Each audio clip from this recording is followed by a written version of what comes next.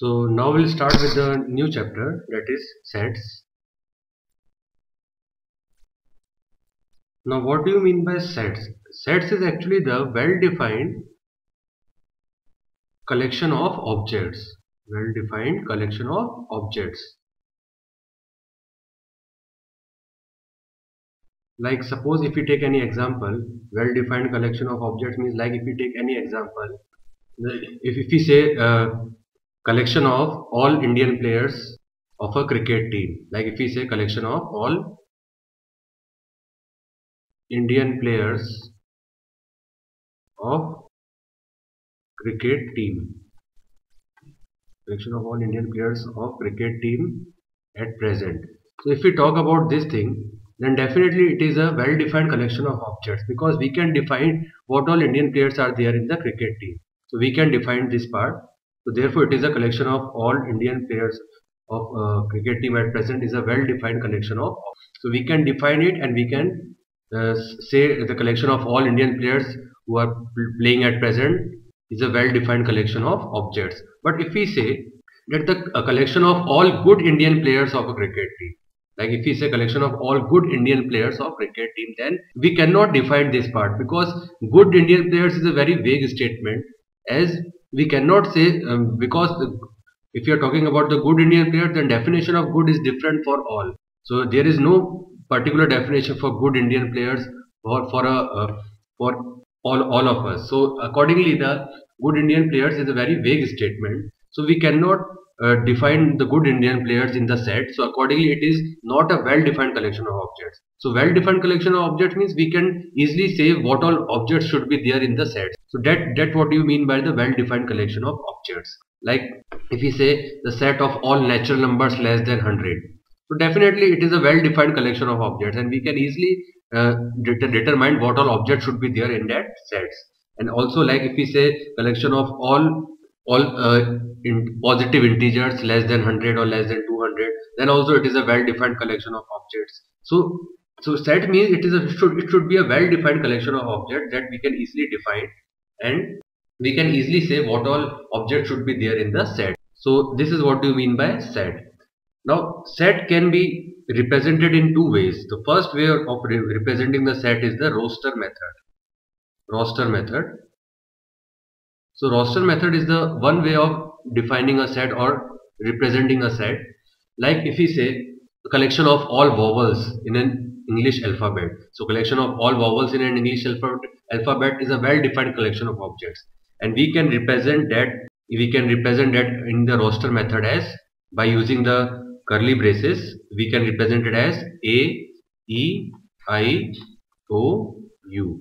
And close and we have closed the curly bracket. So if we need to represent the objects well defined objects in the roster method we can represent it using the curly bracket and the objects are separated by commas. So as the objects are separated by commas and they are uh, they are within the curly braces so this is the method of representing the collection of objects in the roster method. Like in the same way if we need to define the collection of all natural numbers then also we can define it as in the form of roster method as 1 comma 2 comma 3 and so on so there are many natural natural numbers. So definitely we cannot write all natural numbers. So we are represented by dotted line. And uh, whatever terms we have written in the curly braces we have separated them with the commas. So in this way we can represent the well defined collection of objects in the roster method. And also like if we say we need to uh, write out the collection of objects or collection of uh, prime numbers less than let's say 20 so if we need to write collection of prime numbers less than 20 then we can write it as we can write it in the again in the curly braces as what all prime numbers are there 2 comma 3 comma 5 and, uh, and then 7 then 11 then 13 and then 19 17 19 so all these are the prime numbers less than 20 so we can write all these prime numbers within that curly braces separated by commas.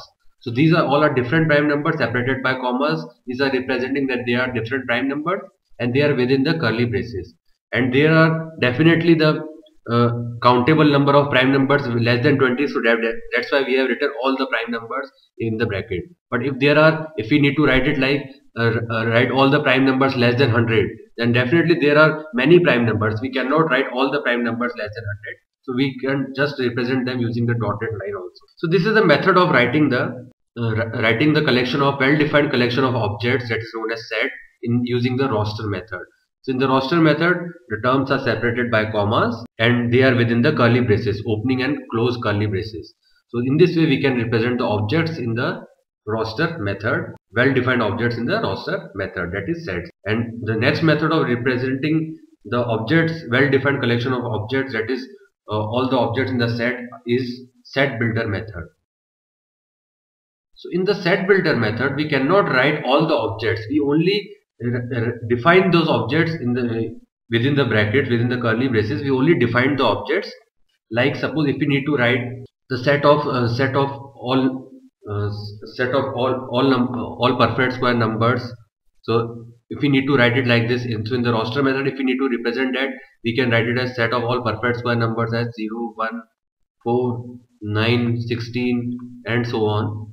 This is the set of all perfect square numbers and this we have represented using roster method. But if we need to represent this in the into the set builder method then how we can do it is we can write this a as bracket x square. We can write it as and we can define this x what x can be. So we can define x as x belongs to z or x belongs to z means x belongs to integers. Or if we need to uh, represent it we can also represent, represent it as x belongs to natural number so we can write it like this also so this is representing that x belongs to natural number and object in this set should be of x square that is square of all natural numbers so in this way we can represent it using set builder method. This is the roster method of representing the set and this is the set builder method.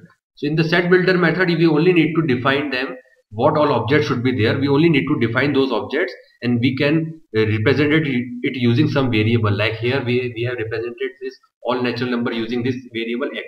So it, here we have used x square and what x can be we have we have defined here that is x belongs to natural number.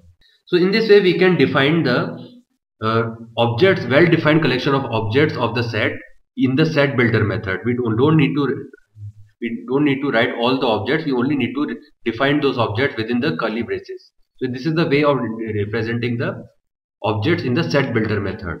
Like if we take any other example, like if, uh, let's say if the objects are 1 1 by 4 1 by 9 then 1 by 16 and so on so if we need to represent this in this uh, represent this into let's say set builder method then how we can represent this b as a set builder method.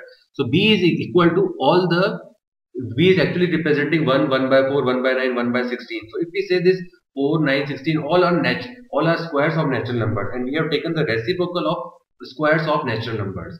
So definitely we can represent it, at, it as let's say 1 by n square and where n belongs to let's say natural number. So we can represent it this all these objects in the set builder method by this way. So 1 by n square. That is 1 by 1 square 1 by 4 square 1 by 9 square then 1 by 16 square.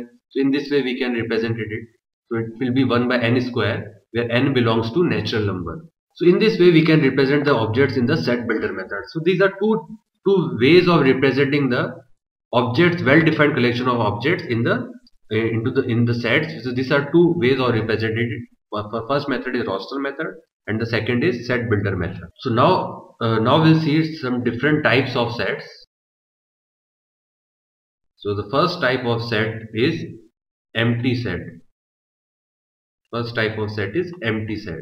Empty set means the set which does not does not have any of the element or it is it is a void set. Void set means it does not have any element in it.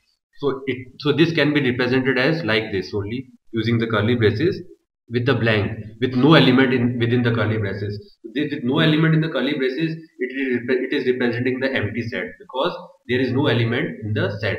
So that's why it is known as an empty set. Or it can also be represented using this phi.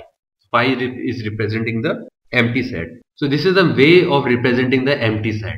Like if you take, take any example of this empty set, then uh, let's write so let, uh, let's write the example first. So example is write x uh, belongs to natural number and this x will be within uh, greater than 5 and less than 6 it means we need to uh, write all the elements of this set and all the elements should be natural numbers because x belongs to natural number and that natural number should lie between 5 and 6 so definitely answer of this answer of this will be the blank set or the empty set. Why? Because uh, there is no natural number between 5 and 6 so we cannot take x uh, uh, any of the value between 5 and 6 because there is no natural number between 5 and 6 so we can represent it as using the void set or the empty set. So if there is no element in so whatever condition is given to us uh, for the set if that condition is not fulfilling we can represent it as using the empty set or the void set. So void set is representing that that the set does not contain any of the values so empty set means it, it should not have any values in it or it should not have any elements in it. So that is empty set. And next, so now the next type of set is singleton set. And this singleton set representing means as the name suggests singleton set means set which is having the only one element. So if the set is having only one element or the single element it is known as the singleton set so like if we take any example like suppose if, uh, if we take any set like this so this is actually the singleton set because it is having only the one element that is a. So this is the example of this singleton element. Now we'll see one more example of this. So let's write down the example first. So the example is write the set x where x belongs to natural number and also x square is equal to 9 so we need to write the element of this set in which x is a natural number, x square is equal to 9. So if x square is equal to 9 then x should be either plus minus 3. So x should be either plus 3 or minus 3. But it is given that x should be a natural number also. So x, x, x should be a natural number. Therefore we can write it as, we, uh, we can write in the curly braces only one element that is 3 because x can be either plus 3 or minus 3 but if x is a natural number then x can be only plus 3 so we, so this it means that this set contains only one element that is 3 so therefore this set is actually a singleton set. Now the third type of set is finite set. So finite set means the set which contains the finite number of elements or the countable elements. Like the elements which the set have set has should be countable or we can easily count them so those type of sets are known as the finite sets. Like suppose if, you, if, if I ask you to write down the all prime numbers less than 20 then we have seen this example all prime numbers less than 20 so these are the all prime numbers less than 20 so we can easily count them that what all prime numbers are there less than 20 so we can easily count them. So therefore this set is actually the finite set because the number of elements of these sets are countable. Or if I ask you to say let write down all the natural numbers less than 100. So it means these are these all our elements are the countable elements so we can easily count them. So definitely this this becomes the finite set. So finite set means the sets which contains the countable number of elements or the elements which we, which we can easily count. So those sets are the finite sets. Now we'll see the infinite set. Infinite set means the set which contains the infinite number of elements means which the elements which cannot be counted. Like if we say uh, set set of all natural numbers. So if we say the set of all natural numbers so definitely there are infinite number of natural numbers and we cannot count them. So definitely that set will become the infinite set. Like if I ask you to write that infinite set so it will be like this 4 and so on 1 2 3 4 and so on this is the infinite set because the number of elements of this set cannot be countable. As it is said that n n is the uh, set uh, which contains x and x belongs to natural number. So this is the set. So x is said to be as a natural number x is said to be as the natural number and there are infinite number of natural numbers between uh, there are infinite number of natural numbers so we cannot count them so therefore it is the infinite. So infinite set is the set which contains the infinite number of elements. Like if i also ask you to say a set of all uh, let's say set of all points in a circle. So if i say let's set of all points in a circle so definitely there are infinite number of points in a circle within the circle. So we cannot count them so definitely it is a infinite set. So infinite set is a set which contains the infinite number of elements